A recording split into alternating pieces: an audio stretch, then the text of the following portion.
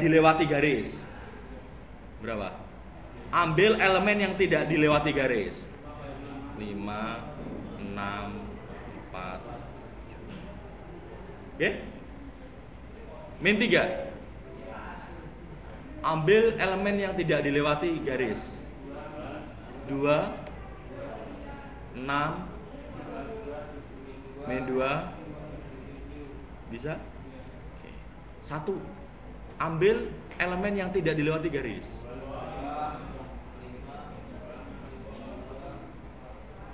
Eh, tunggu dulu, belum selesai.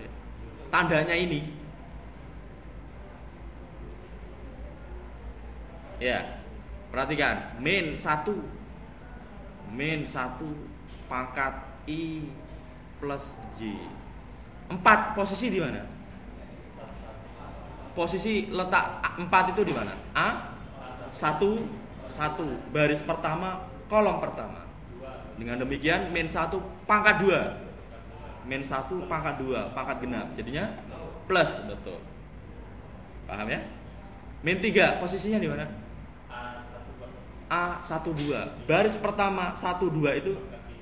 Jadi kalau A satu dua. Baris pertama kolom kedua. Berarti pangkatnya tiga Pangkat ganjil min satu pasti minus. Minus di sini sudah ada minus. Jadi bergabung plus. Paham ya? Satu. Satu ini adalah A satu tiga betul. Pangkat empat berarti. Berarti kalau sudah begini bisa ngerjain ya? Bisa tentunya. Empat kali 35 min 24 plus keluar terus sih 3 kali 14 plus 12 1 kali 8 plus. Ya. 11 kali 4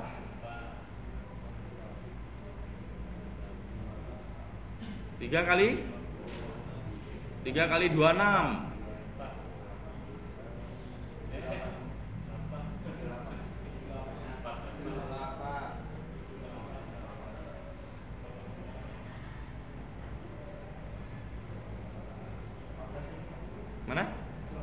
18 kok tambahin 0 sih? Sama dengan?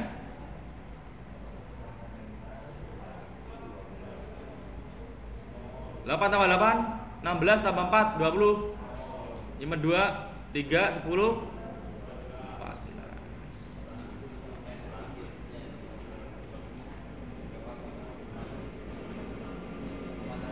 Gak cuman itu ya, pilihannya masih banyak sekali.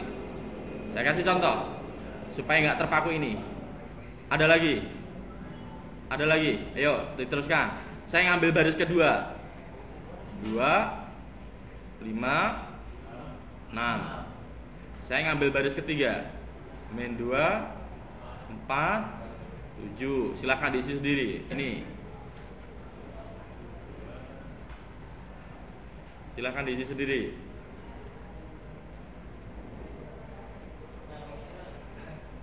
Ayo, dua berapa?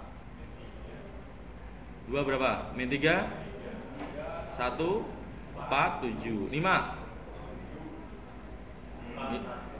Tol, empat, satu, min dua, tujuh, enam. Empat, min tiga, min dua. Tandanya dua. Min 5 plus tol 6 min. Pokoknya kalau ini min tengah plus pasti min gitu. Selang-seling. Tidak diragukan lagi. Iya. Min 2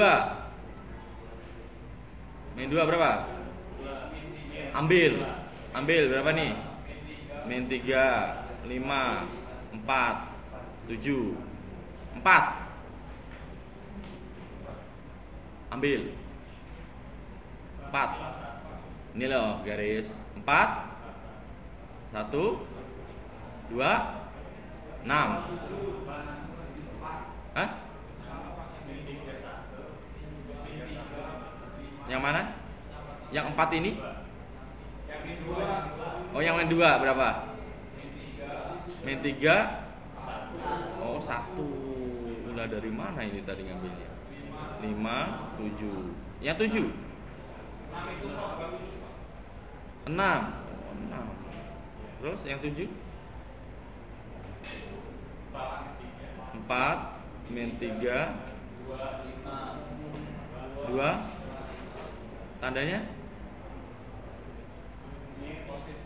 Ini tiga kali satu positif tetap negatif ya karena min dua terus ini berarti ini negatif ya ini positif. Gitu ya. Bukan cuman itu kolom bisa loh ya. Ngambil kolom bisa yang ini berarti. Kita ambil yang ini. Boleh tidak? Boleh. Empat dua dan min dua. Silahkan diisi gitu ya?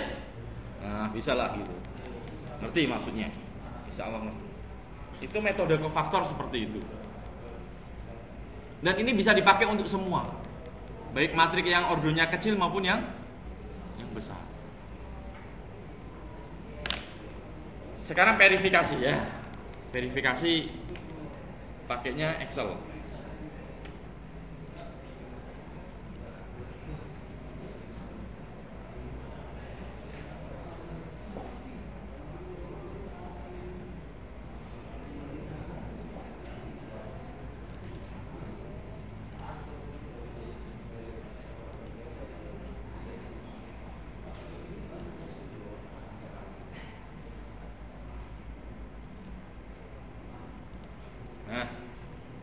ini matriknya yang tadi.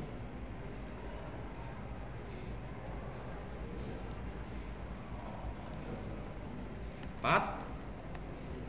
Min tiga. Satu. Dua. Lima. Enam. Min dua. Empat. Tujuh. Bagaimana cara mencari determinan ini? Mudah sekali maka kalau nyari determinan berarti ya kita nggak ngasih ring berapa gitu nggak ya. Cuman satu aja bilangan sama dengan M dead jadi mulainya semuanya pakai M. Matrik dead matrik inverse matrik ULT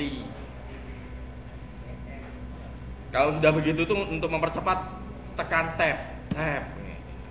Di langsung keluar gitu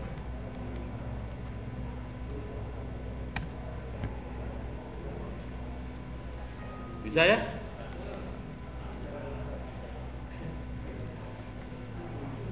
Next. Kofaktor.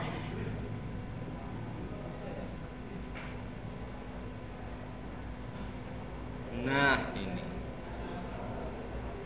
Pivot condensation. Pivot condensation.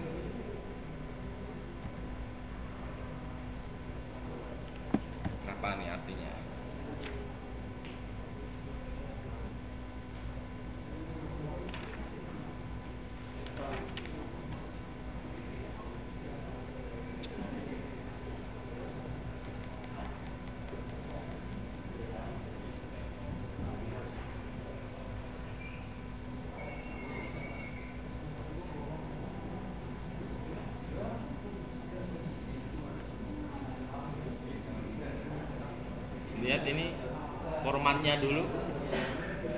Formatnya dulu. Apanya yang beda itu?